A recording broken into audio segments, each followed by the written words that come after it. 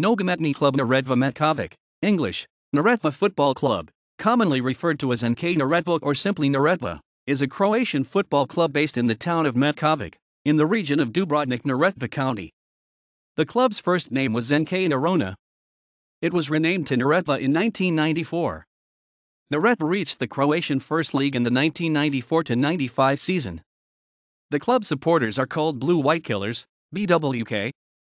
NK Neretva plays their home matches at the Stadium Agrelist Iza Vage, which has capacity of 3.000.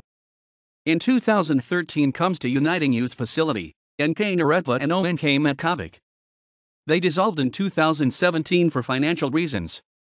However, in July that same year, a new club was formed under the same name. Neretva contest the El Clasico with NK Neretva Puzen.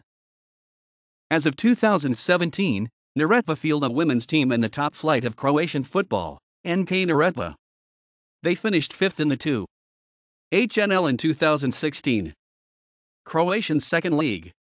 Winners, 1 1993 to 94, South. Equals equals references equals equals.